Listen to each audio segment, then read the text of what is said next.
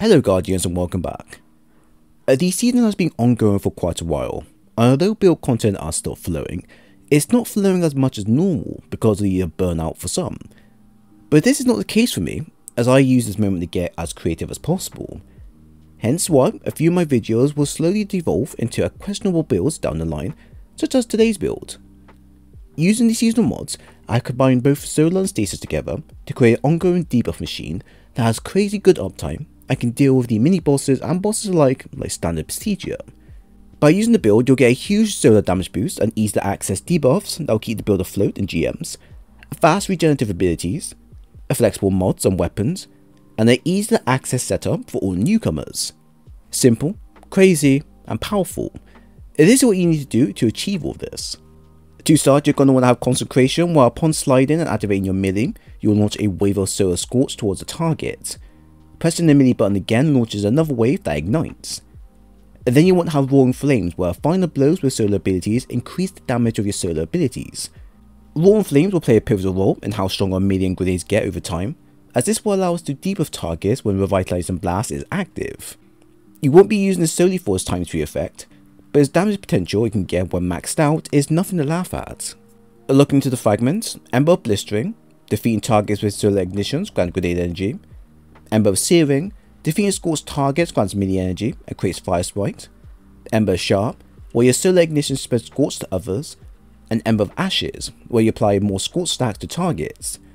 As the usage of Pyrogale gauntlets will be quite high throughout the build, it's pretty easy to build into what the build will require.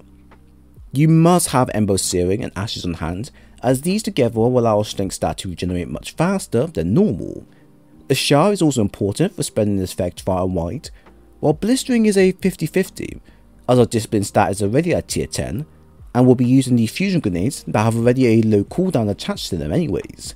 For me, it does help, as I can apply debuffs via Revitalizing Blast consistently when I trigger this buff, and having it on hand with my consecration available will allow much wider reward upon action.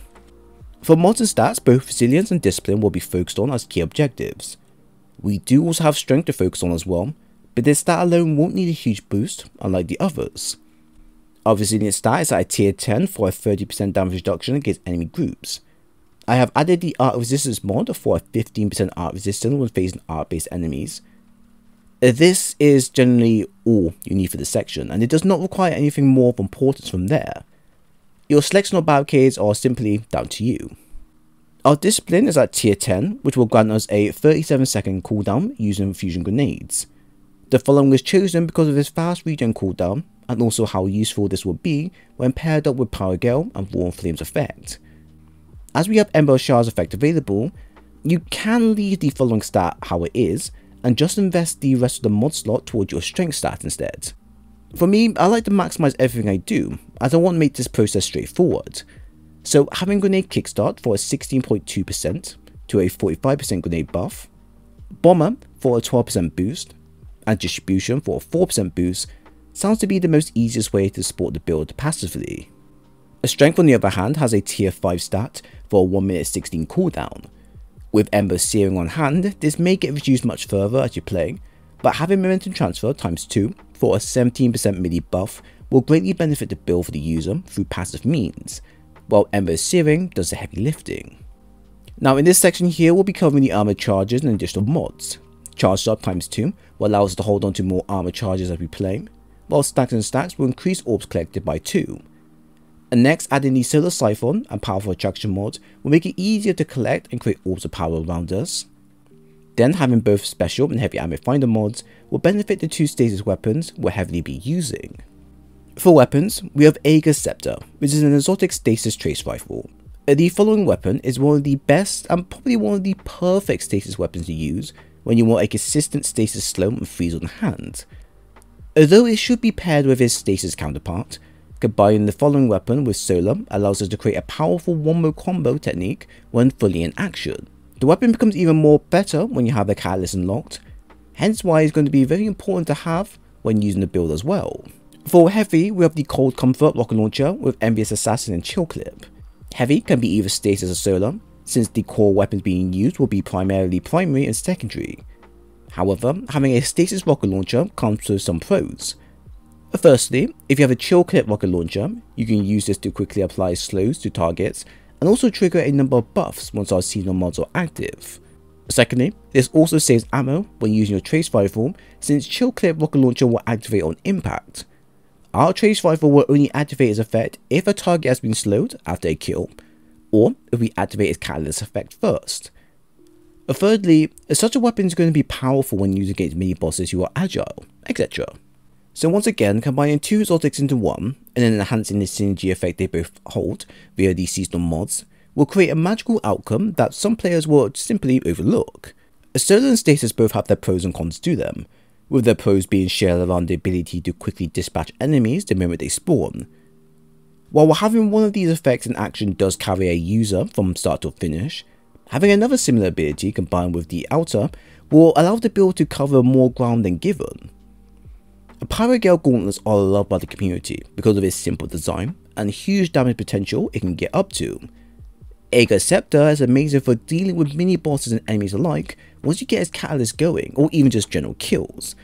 And even without it, the freeze slow slash freeze effect is something worth investing in. Combining the two simply creates a powerful combo that can nuke high level enemies with little sweat involved. So for example, a Flint Striker, Killing Trigger, and Razor Precision allows my weapon to apply Radiant to ourselves and also apply Scorch on the targets. Using this with Revitalizing Blast will allow my weapons and abilities to debuff targets and inflict higher damage. The magic though comes from Torch, where if I apply status debuff to a target, I can increase my damage by an extra 5%. Since Ager's can freeze or slows those affected by it, and since we can use the Catalyst special to Uber freeze targets on the spot, and since we can use the Herald of Storm and Pillar of Ice seasonal mods for extra support, you get in the end a build designed around easy access of debuffing enemies, and then applying a huge damage buff towards enemies to potentially one-shot them. And I say potentially, as it can one-shot in GMs against champions if you make sure Ager's and Pygos both work at the same time. And this is what I like about build crafting, as anyone can do this, and you don't even need to follow the exact exotics to achieve it. In fact, you can swap out Ager's for a Clip Fusion instead, and then you can swap out Gale for Halify instead. Damage might be less than the original, but you're still getting a one-to-one, able to create the following. Can this be used for next season as well? Of course. It's only tied down by the seasonal mods being used, and you only lose the debuffs applied, but even then, the damage is still quite incredible to use. This is quite a great build for those who want to experiment and keep experimenting and gain content just to see how fast certain builds can work in game. Honestly, this is a great one-time use build for this season or even the next season if you like. So there we have it, I hope you all enjoyed the build breakdown. If you have any thoughts on the content shared, then please leave a comment below. While at the same time, if you enjoyed content and want more of these videos in the future, then leave a like and a sub bar here. I'll leave a dim link for the build below. If you want more stuff like this, then I have a playlist available covering all types of builds you desire. It was great sharing today's video with you all, and I hope to see you again soon.